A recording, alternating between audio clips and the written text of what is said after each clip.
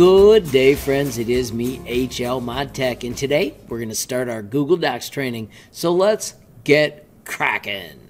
Friends, the first step I always use is to click on the little waffle bar, and then I want you to start a brand new Google Doc.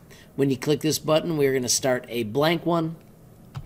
We're going to start by naming the project, and I want you to call this Top Tinkercad and I want you to put your initials after it. Notice those are my initials. Make sure you put your initials. Friends, our goal is going to be to make something fun in Tinkercad, but also learn all of the buttons and how they work.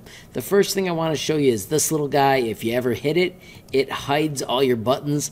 That's how you bring them back. Right now, mine probably looks different than yours because I've got this summary. If we click on the view menu, mine had the document outline. I'm going to click that and shut it off. And then I want to go right to my page setup. Click File, choose Page Setup. We want to do the whole document and then we're going to take these margins and we're going to type 0.5 in each box.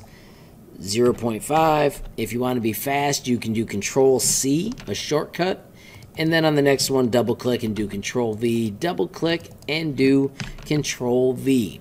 We are also going to pick a fun page color as we make a brochure. Now, when you do this in my class, I ask that you stay in these two rows, the light colors. Pick whichever one you like, hit OK, and boom, you're on your way to making your first Google Docs brochure.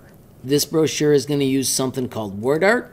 We get there by doing insert and drawing and we're going to choose new. Now for some reason in my classroom I've seen an error where when we do WordArt it doesn't work the first time so I'm going to tell you to hit gibberish, press enter and then you can click on that one and hit delete and then the next time you click WordArt it should work the way it's supposed to. Now I am going to name mine Tinkercad Treasures. This is going to be a document about all of our Tinkercad projects. If you come up with a fancier name, you can do that. If you wanted to do two lines, you would do Shift Enter. I am just going to click, and now the Tinkercad Treasures shows up the way I want. I'm going to move it to the top. I'm going to pick a fun font.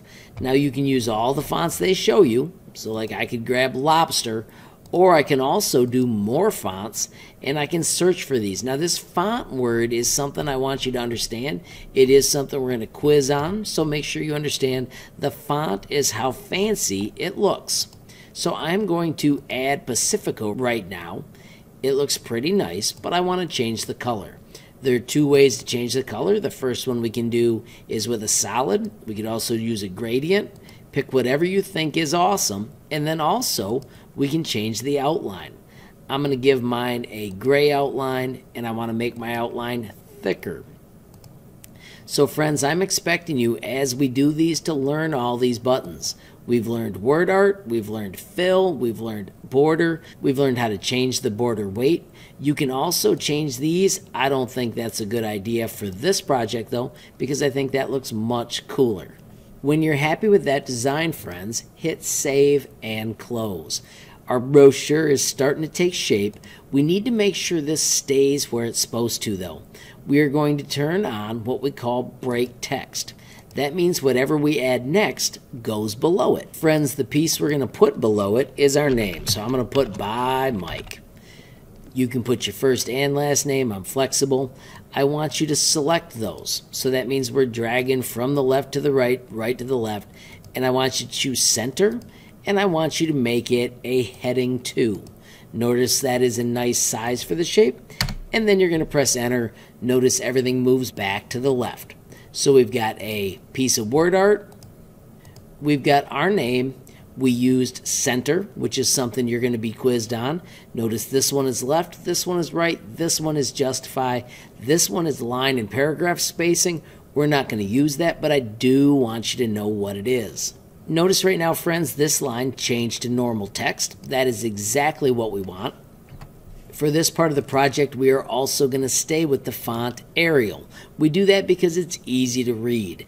Up here, you can have fancy fonts for your titles. We'll maybe have fancy fonts for our headings, but for our body text, we'll always use normal, and we should always use an easy font to read, like Arial. I am going to let you change the font size to 12. It just makes it a little larger, which is easier for these old eyes to read when you finally turn in your project.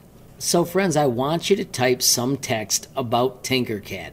So, I put in my text Tinkercad is a really fun 3D modeling program, period. It runs in a web browser and it works on Chromebooks, period. I use tutorials by HL ModTech.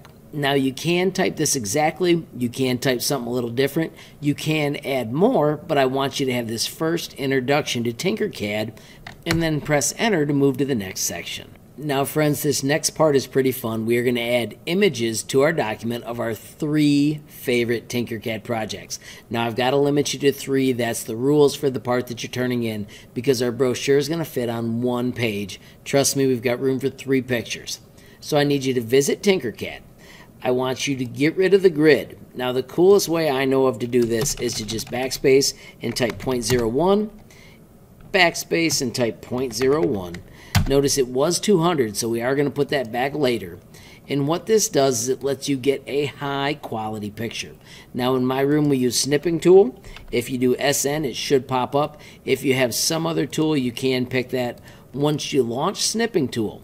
Once you launch snipping tool you just hit new and you grab a super high quality picture of your vehicle and you save it into your project. Now we're saving this in the downloads folder.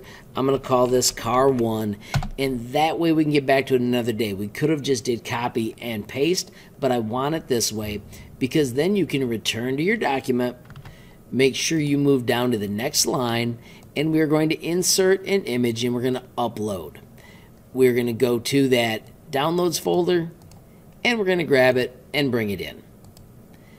Now here's the other tricky rule. You must squish it so it's small. We're going to have three pictures. So there'll be one, there'll be two, and there'll be three. The first one has to be on the left. We want this image to be on the left side, and we need to choose what's called wrap text. Notice that made the words go around it. So I'm going to put it so it's just like this. My text is over here. And now on this side, I want you to switch from normal text to heading 2. Heading 2 selected, you're going to name it. So this will be my Tinkercad car. When you press enter, switch back to normal text if it didn't, and I want you to type a paragraph about your car. Tell me about the design, tell me the colors you chose, tell me why you liked that car in this chunk of space. You can have different words than me, and as a matter of fact, you should have different words than me Notice mine were size 11, so I'm going to bump them up to size 12.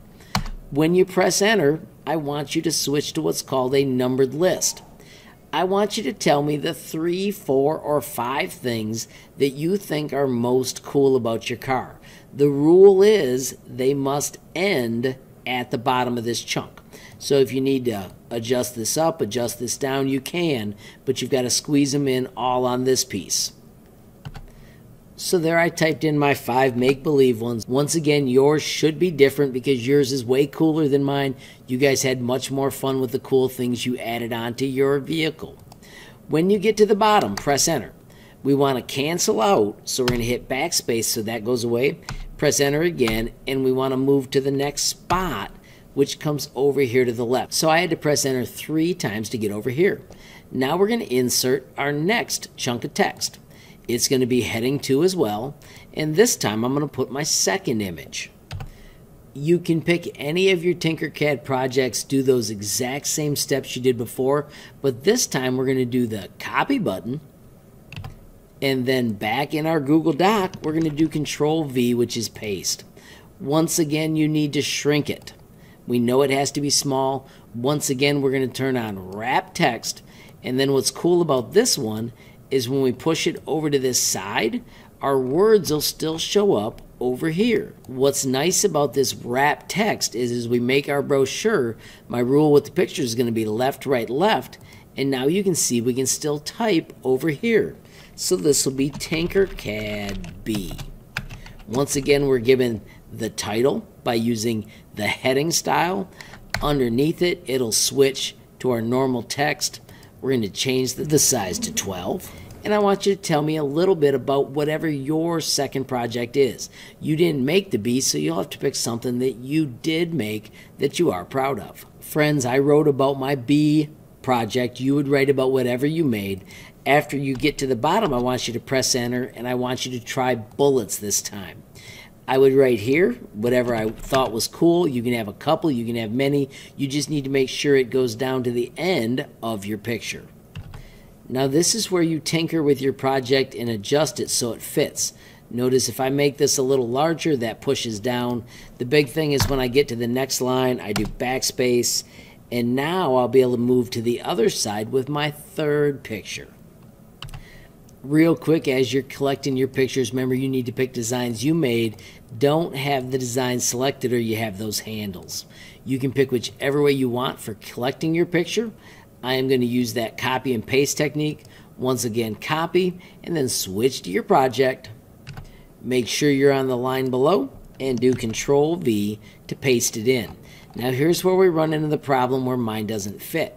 So what we do then is we shrink our designs so that we have more room, so that we can do all of them on one page. Make sure you turn on your wrap text. Now it lets me put it up there.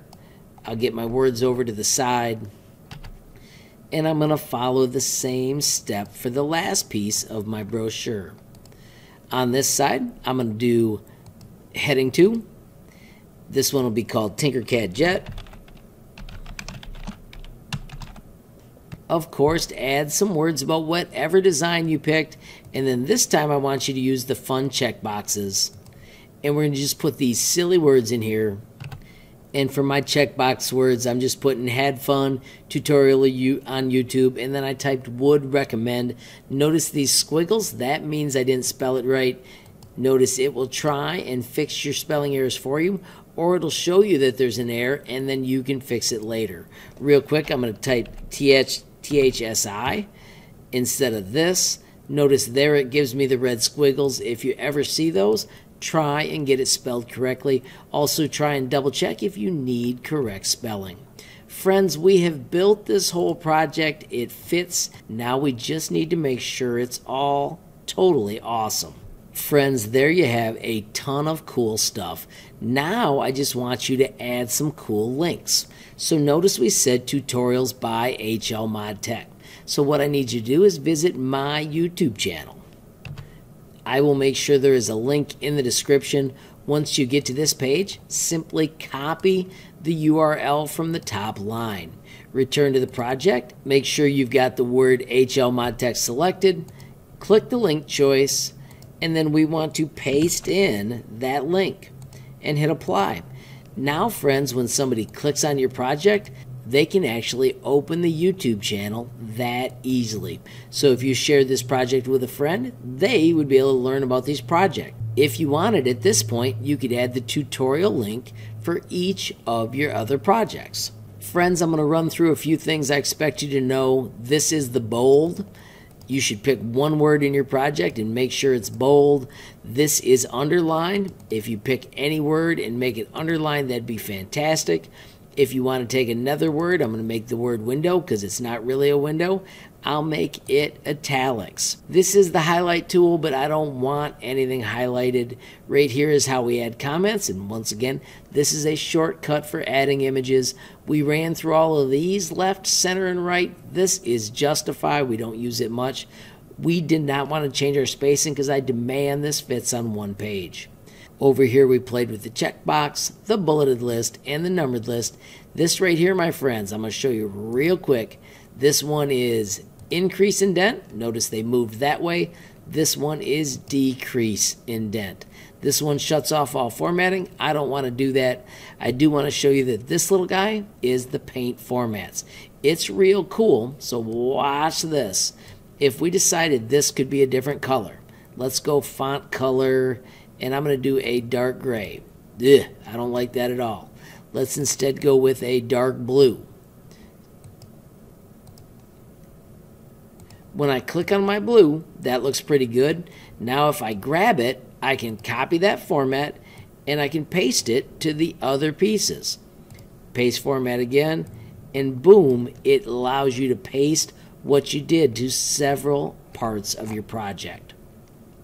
Friends, here's the final part of this. I need you to zoom out. We're going to probably do that with Zoom 75. When you can see it all, I need you to take one screenshot of this and I need you to turn it in to Google Classroom. Make sure it all fits on one beautiful page and save it. I'm going to call it brochure Tinkercad. And then, friends, with that completed, you need to turn it in to Google Classroom. Friends, that was a ton of stuff in a little bit of time, but I hope now you have a better understanding of how to use Google Docs, how to add images, arrange them so the text goes where you want, and you can make awesome brochures in just a matter of minutes. Of course, friends, if you enjoyed the video, please hit that like button. Please also hit that share button so more people can learn about HL ModTech. Of course, if you got a question, comment, or suggestion, add it down below. And if you haven't subscribed yet, what are you waiting for? Smash that subscribe button. And of course, hit that notification bell if you want to be the first to know when there's a brand new video from me, HL ModTech. Thanks for watching. Have a